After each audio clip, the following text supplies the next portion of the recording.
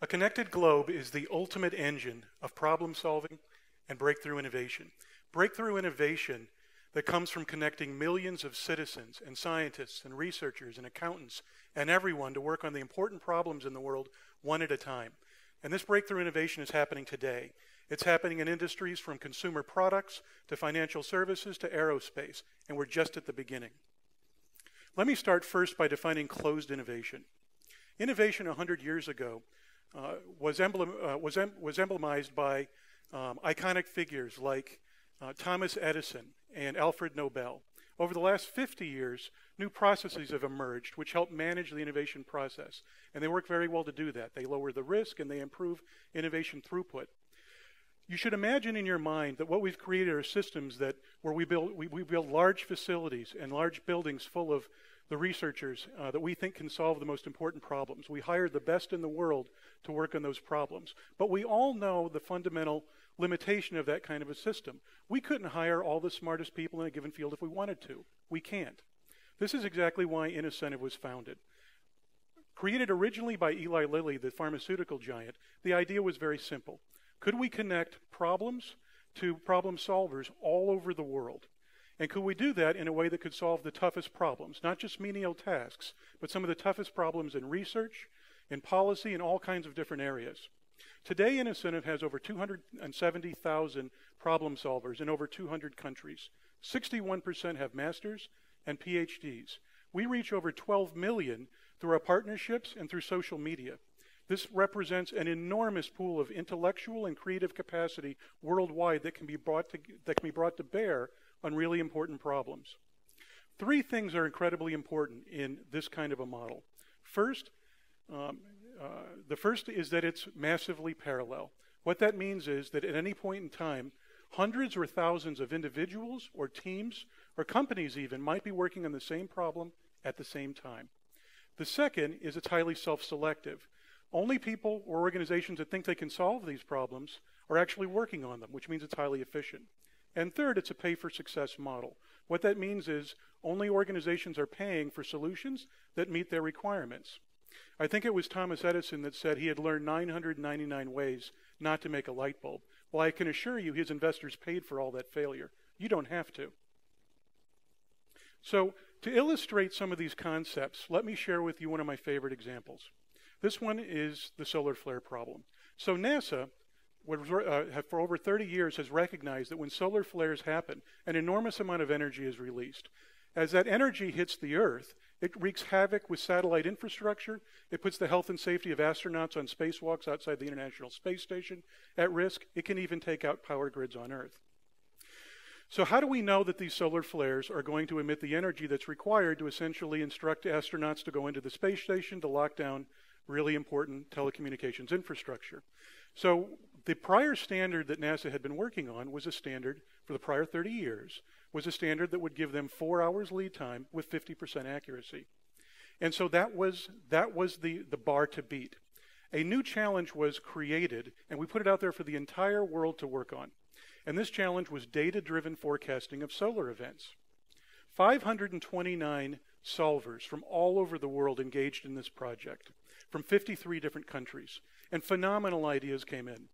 The winning solution came from a retired researcher and amateur radio, amateur ham radio operator from New Hampshire. His, his solution so blew away the folks at NASA um, that he won the prize. Now, this, this solution emerged within 90 days for a problem that had been vexing NASA for 30 years. And his solution was absolutely novel. Using original data analytics tools and predictive algorithms, he took that four hour lead time and increased it to eight hours, and 50% accuracy to 85% accuracy. This is a monumental leap forward with implications that would be clear to everyone. So it turns out we can all be rocket scientists at the end of the day. So let me share with you um, my thoughts on where innovation comes from. Innovation is increasingly not coming from deep inside the research labs, the closed innovation research labs as we've known them to date. And it's increasingly coming from non traditional problem solvers, from areas that we wouldn't have looked in the past. Harvard wanted to study this phenomena, so they studied years of data at Innocentive and hundreds of successfully solved problems with some fascinating results.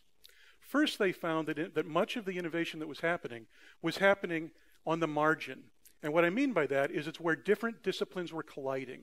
It was where new perspectives were brought to bear on situations where typically the same researchers in the same field would have been examining that problem.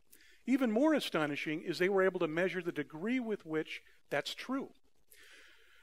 So, on average, a solution was being solved by someone with a background no less than six fields away from where we would have assumed that problem would have been solved.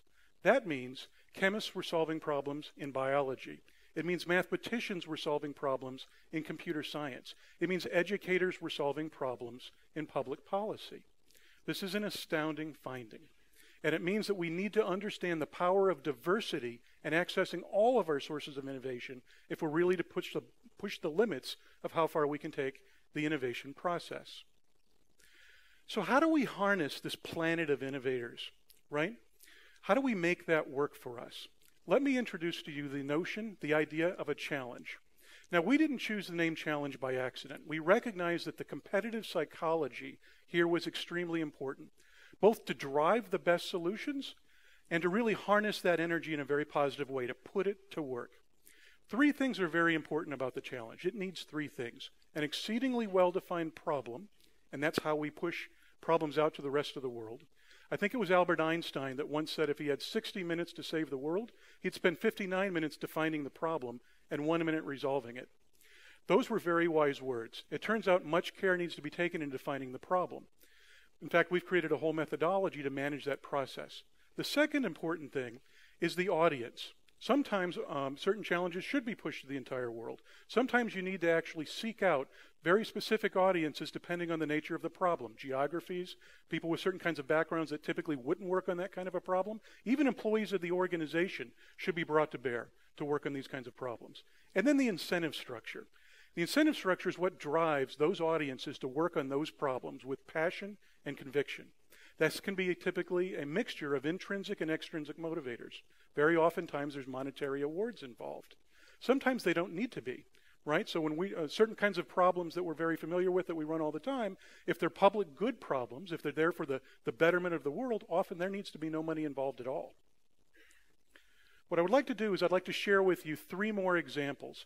And in these three examples, I want to draw out who these people are, these solvers, the ones that are able to, cre- to, to, to, create these amazing solutions to these problems, and at the same time illustrate how varied and diverse these kinds of problems can be.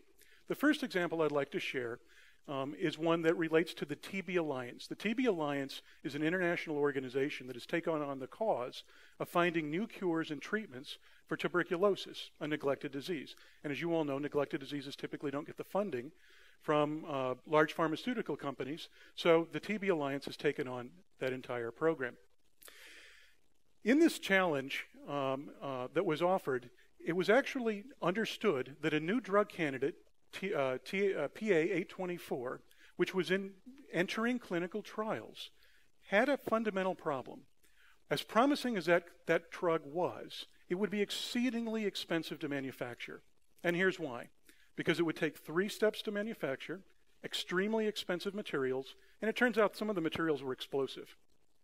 You can imagine that would be a very expensive manufacturing process. And for neglected diseases, the low cost of manufacturing is critical.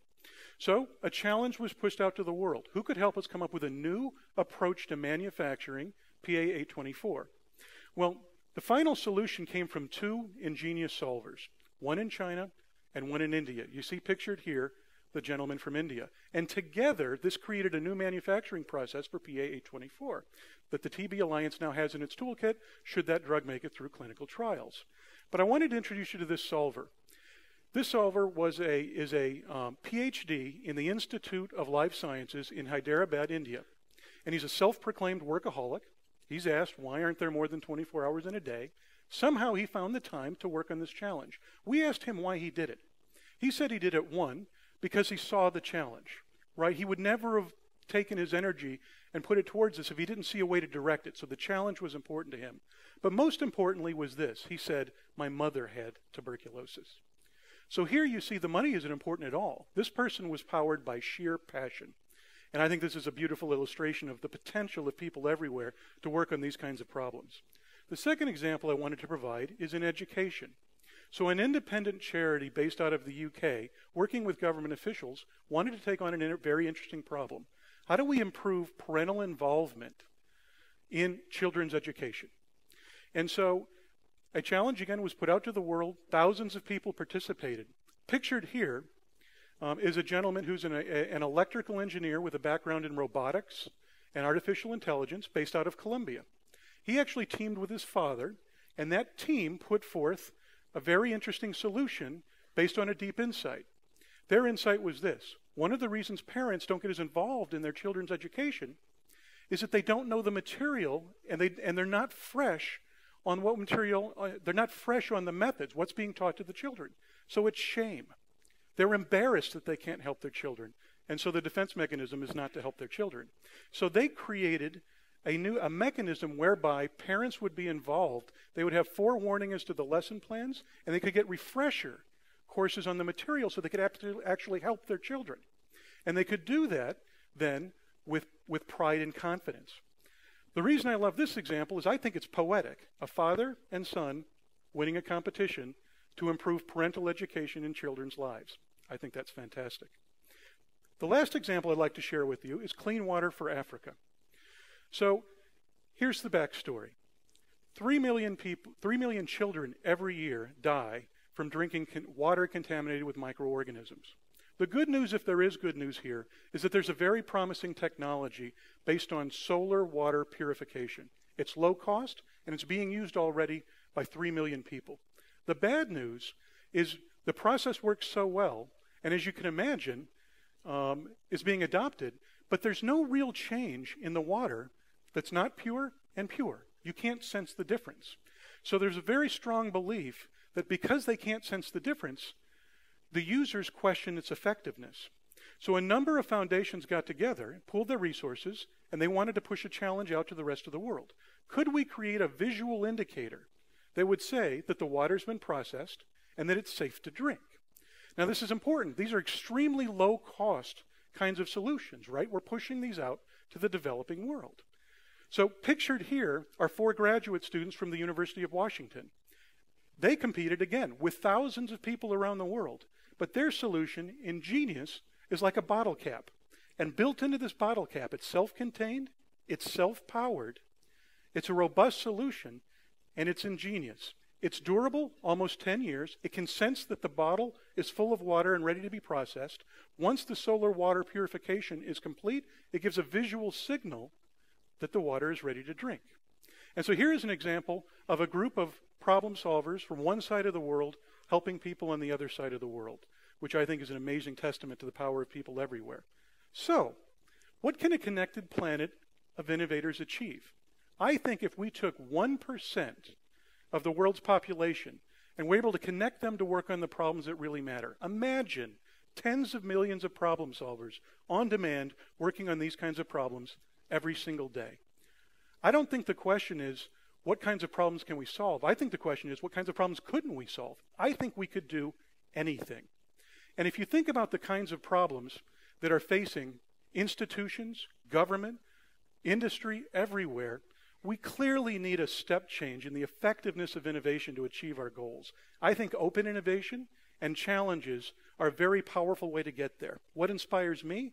connecting problems to problem solvers all over the world. I think if we're going to innovate our way to the future, we'll innovate our way to the future together. Thank you.